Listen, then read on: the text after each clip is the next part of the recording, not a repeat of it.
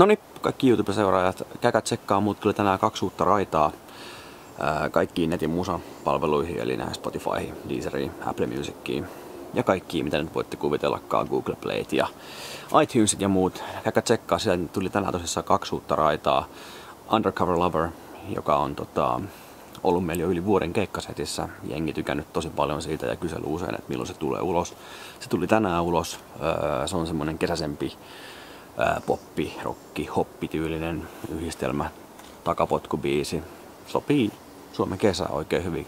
Kantsi käydä tsekkaa. Ja sitten siihen kylkiäisenä pistin vielä hylkynimisen biisi, joka on sitten enemmän tämmöinen perinteinen erakossa biisi, eli niin kuin tällaista jytä, jytä Suomi, suomi Ja käkä kattoo. Mä halusin laittaa kaksi biisiä sen takia, ettei että on tavallaan vasta, vastavoimia siinä. Toinen on duuribiisi, toinen on mollibiisi. Ne on vähän erityyliset, mutta täydentää toisiaan varmasti kivasti. Ja tota, käykää tosissaan tsiigaa ja kommentoikaa mitä dikkaatte, jos dikkaatte, jos ette dikkaa, ihan sama. Tai siis ei ole sama, mutta kommentoikaa tuohon alle ja tosissaan linkit löytyy kans tuosta alta. Ja videoita on kyselty, videoita on kyselty. En tiedä vielä, pitäisikö tehdä jommalle kummalle.